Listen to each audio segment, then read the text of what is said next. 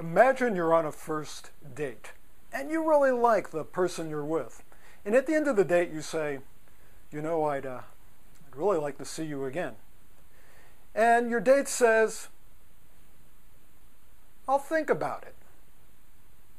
Are you going to walk away from that date and go, Well, that's really great. I'm glad you're thinking about it. And then try following up at a later date saying, Yeah, hi, this is Bob. I'm um, wondering if you want to go out on that second date if the potential love of your life hesitates when you ask him or her for a date, don't you want to know, well, why are you hesitating? I mean, is there a problem?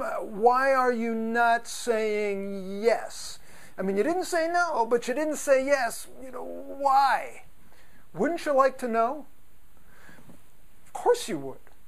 Some of you would ask, some of you would say, well, I'm just kind of curious. You know, I, I think things went pretty well tonight. I mean, you seem to like me. Uh, we seem to have a lot in common.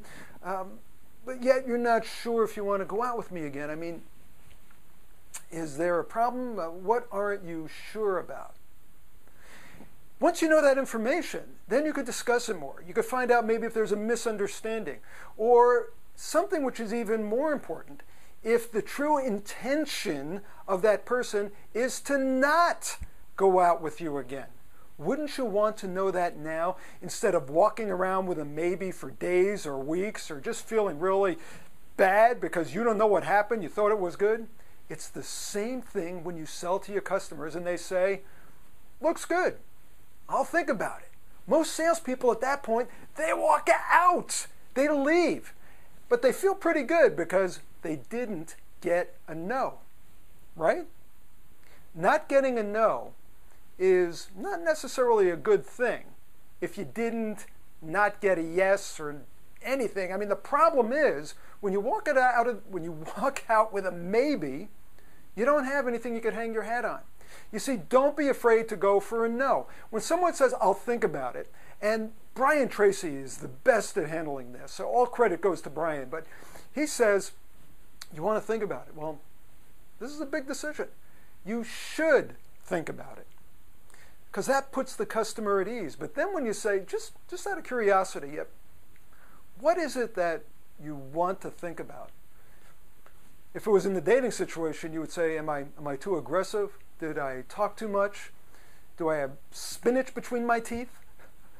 You want to try and put the person at ease, the prospect at ease, and allow them to tell you where they're hesitating. Because let's face it, folks, in a product presentation or a service presentation, whatever you're selling, the prospect is never going to know more about your product than they do at that moment. Sure, they might take some time to go ahead and do some research on the internet and try to find out more about it, maybe find a better price, look at your competitors, whatever. But the reality is, if they're really interested in your product at that point, you're there to answer their questions. Once you leave, they're on their own. So when they say they'll think about it, they probably won't be thinking about you.